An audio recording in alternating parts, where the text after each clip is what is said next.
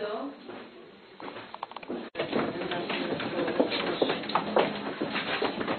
Znajdujemy się w domu, gdzie się y, urodził święty Maksymilian Maria Kolbe. Y, Kiedy się urodził y, troszeczkę inaczej, był to piętrowy budynek y, z płaskim dachem pokrytym papą.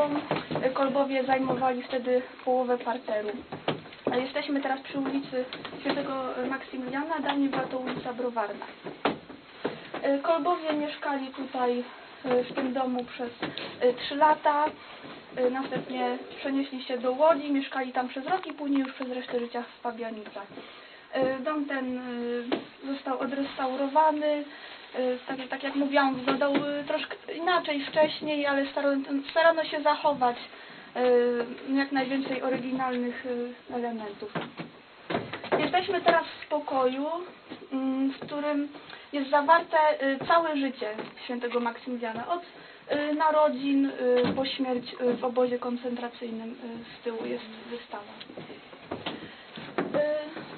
Tutaj znajdują się liczne zdjęcia rodziny, rodzeństwa świętego Maksymiliana. Był on drugim dzieckiem z kolei, miał młodszego brata Franciszka, młodszego, przepraszam, Józefa i najstarszego Franciszka, a Kolbe był drugim dzieckiem, nazywał się y, Rajmund.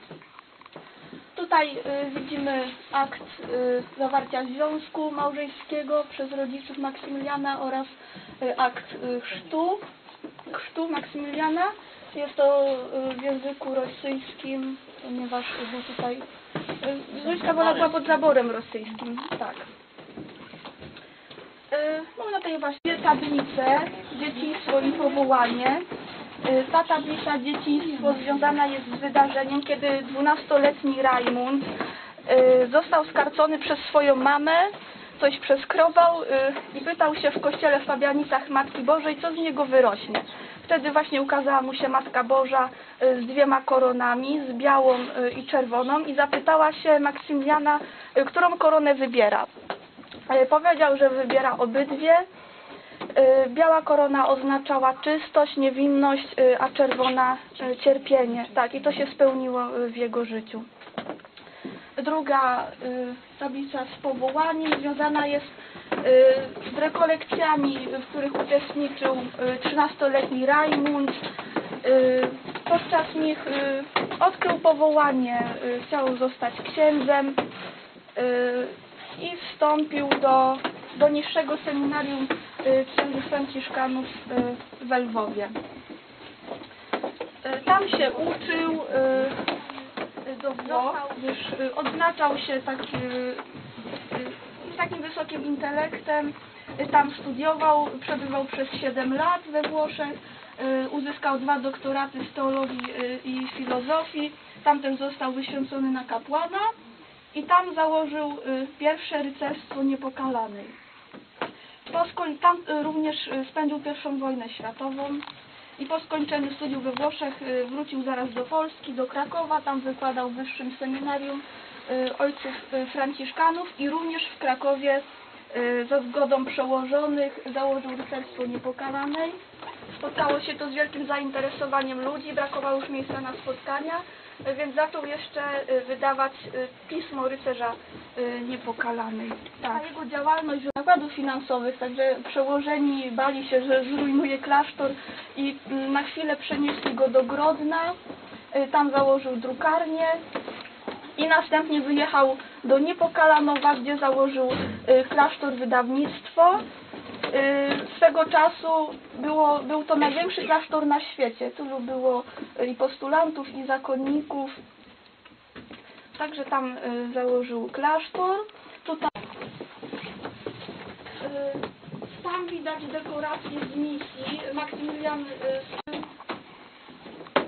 Tutaj jest dekoracja obozu koncentracyjnego, ponieważ działalność Maksymiliana nie, no, również nie podobała się władzom. Został y, osadzony w Oświęcimiu. Tutaj y, są rzeźby również y, y, z wojskowolanina pana Goszczyńskiego, który przeżył właśnie Oświęcim y, i w ten sposób chciał upamiętnić również postać świętego Maksymiliana i zrobił tutaj y, rzeźby. Są tam oryginalne buty na dole, w których chodzono, jest mydło z ludzi robione. Także Maksymilian zmarł 14 sierpnia 1941 roku w wieku zaledwie 47 lat. Y, Oddał życie y, za pana Gajowniczka, ponieważ w bunk- y, w bunkrze, gdzie przebywał y, Maksymilian, jeden z więźniów uciekł i postanowiono co dziesiątego y, więźnia mm, ukarać i y, znaczy mm, do, do bunkru głodowego postanowiono ich y, przekazać. I właśnie padło na pana Gajowniczka, który westchnął, że ma rodzinę i, i nie chciałby umierać i wtedy, Fran- y, wtedy Maksymilian y, zapytał, czy, czy nie mógłby o, za niego oddać życie. Jest y, katolickim kapłanem, nie ma rodziny. Także Maksymilian poszedł za niego do tego bunkru głodowego, ale był przyzwyczajony do głodu już, także przeżył tam y, dwa tygodnie, y, więc postanowiono y, z fenolu z ostrzykiem y, go zabić.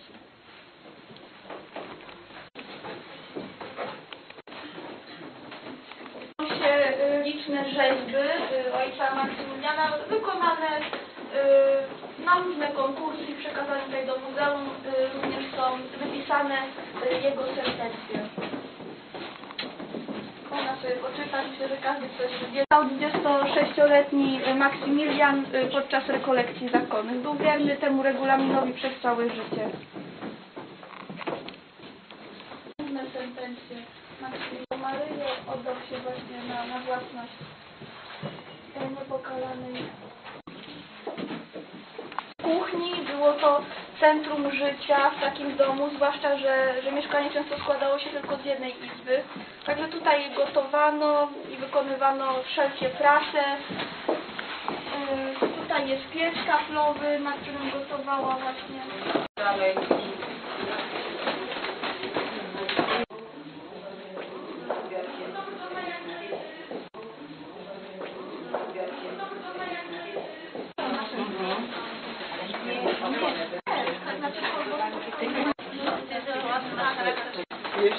nie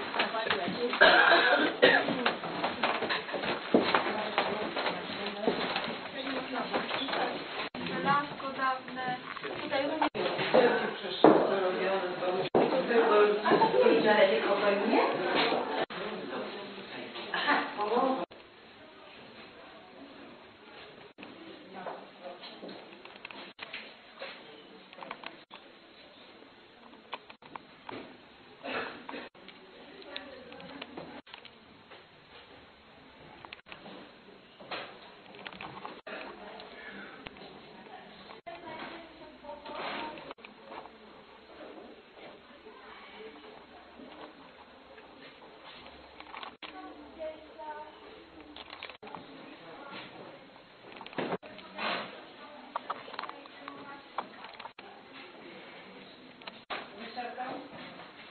troszeczkę trzeba wejść. Thank